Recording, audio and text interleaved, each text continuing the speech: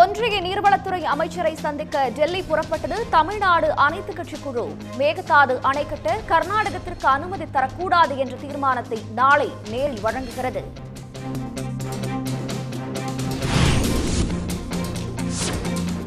மேகதாது விவகாரம் தொடர்பாக நாளை பிரதமரை சந்திக்கிறார் கர்நாடக முதலமைச்சர் எடியூரப்பா. தமிழ்நாடு அனைத்து கட்சி குழு டெல்லி செல்லும் நிலையில் அவசர பயணம்.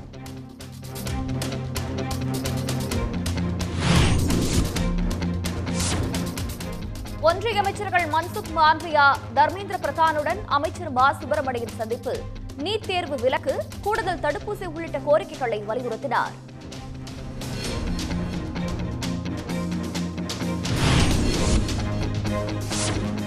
இரண்டாயிரம் ரூபாய் நோட்டுகள் செல்லாது என கூறி சென்னை தொழிலதிபரிடம் நூதன கொள்ளை. நாற்பத்தைந்து லட்சம் ரூபாயை பறித்து சென்ற ஒன்பது பேர் கொண்ட கும்பல் ஆந்திராவில் கைது.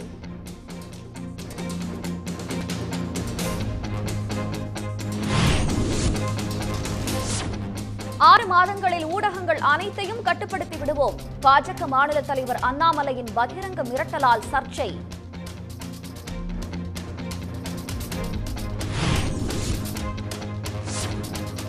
ஊடகங்களை மிரட்டிய அண்ணாமலைக்கு கண்டனம் வலுக்கிறது.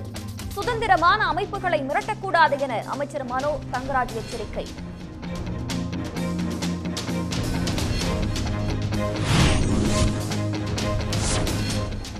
தொடர்ச்சி மலையை ஒட்டிய மாவட்டங்களில் விட்டுவிட்டு தொடரும் கனமழை.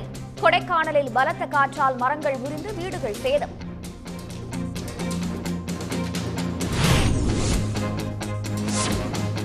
ஆடி மாத பிறப்பை ஒட்டி பூக்களின் விலை கடும் உயர்வு. சேலத்தில் குண்டுமல்லி விலை ஒரே நாளில் இருநூறு ரூபாய் அதிகரிப்பு.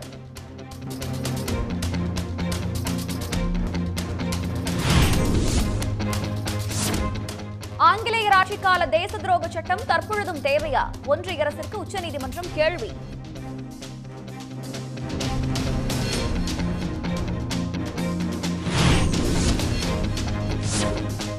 அதிமுக ஆட்சியில் கூட்டுறவு சங்கங்களில் ஒன்பதாயிரம் கோடி கடன் முறைகேடு. இரண்டு வாரங்களில் அறிக்கை அளிக்க தமிழ்நாடு அரசிற்கு சென்னை உயர்நீதிமன்றம் உத்தரவு.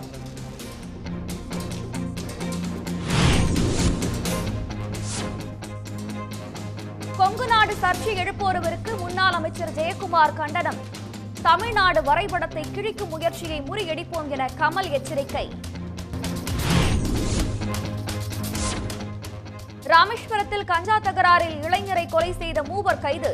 பத்து மாதத்திற்கு பிறகு சடலத்தை தோண்டி எடுத்தது போலீஸ்.